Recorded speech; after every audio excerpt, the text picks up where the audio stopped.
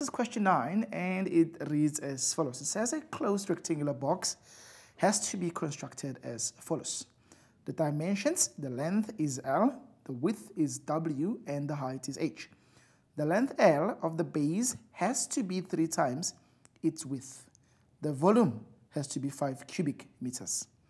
The material for the top and the bottom parts costs 15 rands per square meter and the material for the sides costs 6 rand per square meter. To word problems, we all have problems when it comes to dealing with word problems. So my advice to you is if you've got a situation like this, try to take the love letter that the examiner wrote uh, to you and then convert that into a picture. Our brains understands pictures better than words. So it's a lot of words that can confuse you. If you want to simplify the question, just draw a terrible picture would, would do. As long as you can see what is going on, it then becomes easier for you to analyze uh, this particular problem. So we're told that this is a rectangular box. This is my impression of what the rectangular box could look like, right? And then it's actually a rectangular box. It's a box, so it's three-dimensional. So I'm going to construct this. And in this case, I think they said it's closed everywhere. Okay, cool. The dimensions are the length. Okay, so we've got the length this side at the bottom. Okay, let me just remove this. I'm going to represent that in terms of W because I heard somewhere they're telling us that the length is 3 times something. Okay, and it's got the width, which is going to be the W. And then it's got a height of H. So our height is also going to be appearing there as H. Okay, uh, and then we're told that the length is 3 times its width. So that means our L can be changed and expressed as 3 times W. Very important. Okay. Now, the extra information that we're told is that the volume of this thing is actually 5 cubic meters. So 5 cubic meters is the volume. Keep that in mind. Okay, cool. The material for the top and the bottom parts. Okay. Now, always remember the following. If you're dealing with a rectangular prism, the top area is exactly identical to the bottom area. So if the price of the top and the bottom parts is the same, it means two times one area will be actually the price for both the top and the bottom part.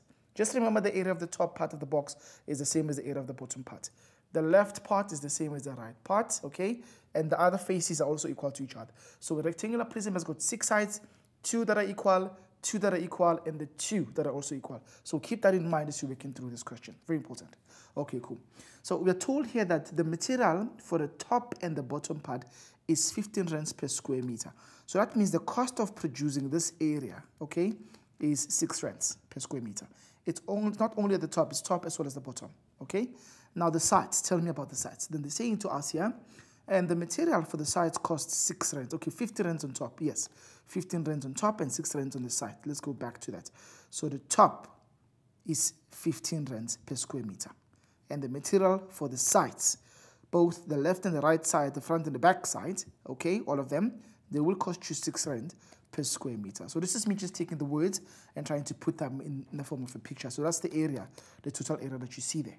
Okay, cool. No challenges here. Okay. So the first question says to us, we need to show that the cost to construct the box can be calculated by cost equals to 90W squared plus 48WH. Okay, there's H and W in that function, so I need to keep them in any formula that I'm writing.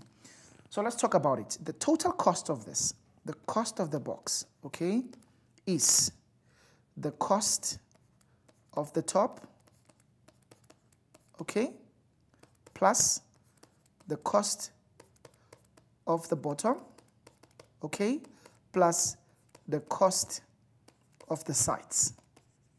Right, there are four sides. The left, the right, the front, and the back side. Okay, cool. Very important. Now, the cost of the top, we know that is going to be 6 rands. So it's 6 rands multiplied by the area of the top part. The area of the top part is going to be the length multiplied by the width. It's going to be the length, okay, multiplied by the width. That's the total area of the top part. So it's going to be length times W plus the cost of the bottom part will be exactly identical because at the bottom, again, it's length multiplied by the width. That's the area of the bottom Uh, so it's going to be 6 rands again, not 6 rands, but 15 rands. I don't know why I keep on saying 6 rands.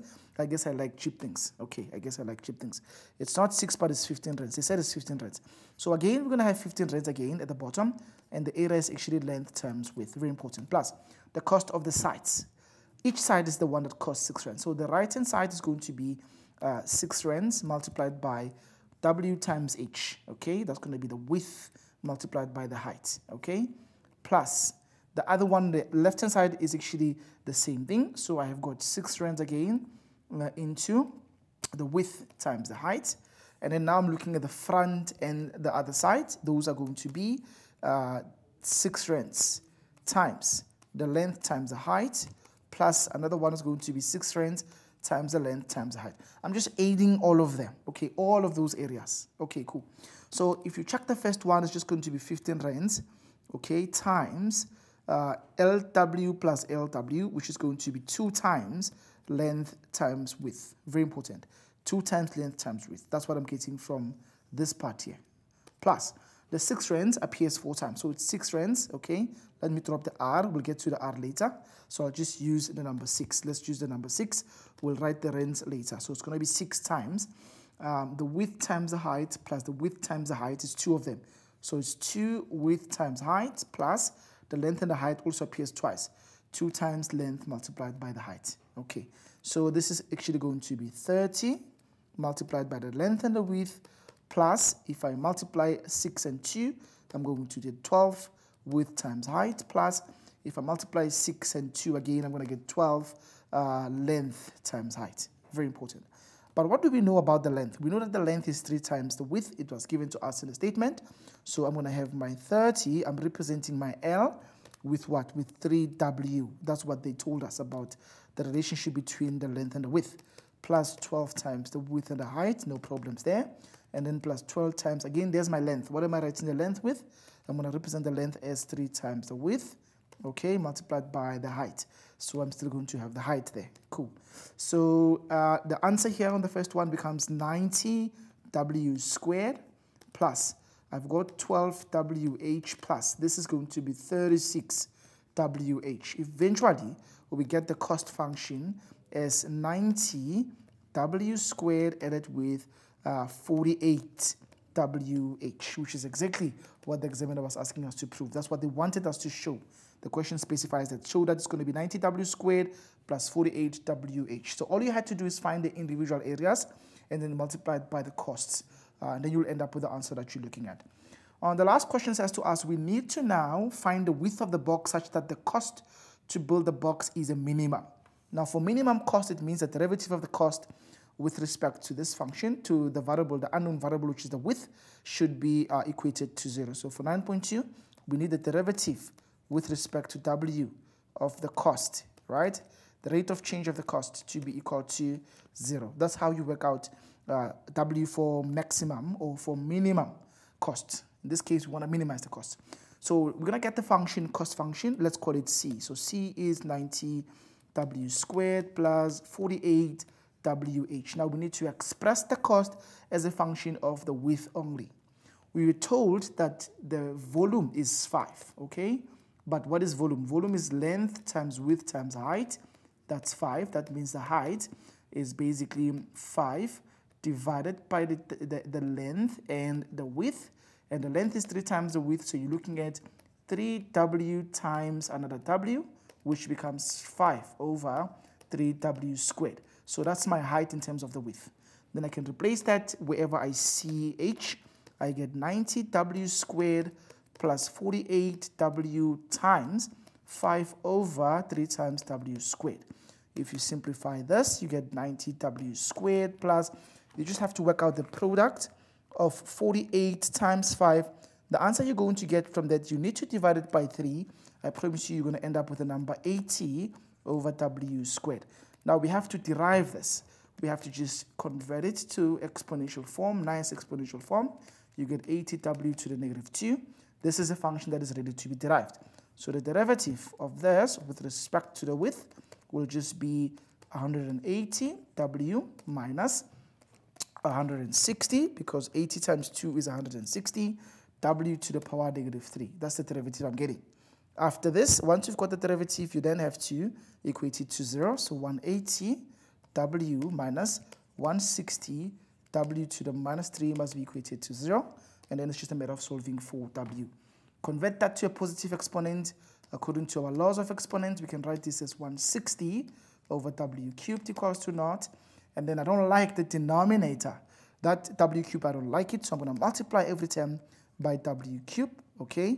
We end up with 180 w to the power 4 minus 160, and then if you multiply 0 with w cubed, you end up with a 0, okay? Then this becomes uh, 180 w to the power 4 is 160, and then w to the power 4 is going to be 160 divided by uh, 180, which is a nice number, which you guys will tell me about. I think if you take 180 and 160, it's like 16 divided by um, 18, you're going to get a nice number, which in this case is going to just simply be 8 over 9, because 16, uh, 8, 2 goes 8 times into 16, and it goes 9 times into 18, so it becomes 8 over 9. That is w to the power 4. But we're not looking for w to the power 4, we're just looking for the width. That's what the question is asking. This is the point where you then take the fourth root. You're going to take the fourth root of w on both sides of the equation, but it's an even exponent. So it's going to be plus or minus.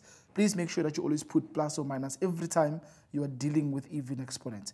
I will then end up with an answer that says w is the fourth root of that. Let's call the calculator to assist us with figuring out what the fourth root of that particular number is simply uh, going to be. So where do you get the fourth root? You just press in your calculator. You go shift and then you press this.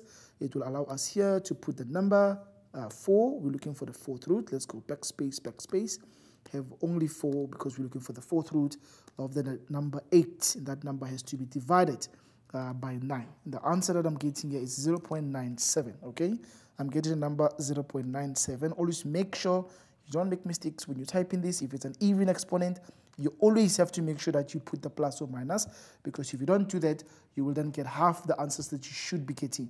So my final answer comes out as 0.97 uh, meters because they said this is actually in terms of meters. So this is actually how you would work out the value of W without any challenges. It's plus or minus, but because it's the width, right, we ignore the negatives answer because the width of a box cannot be a negative. It always has to be a positive answer.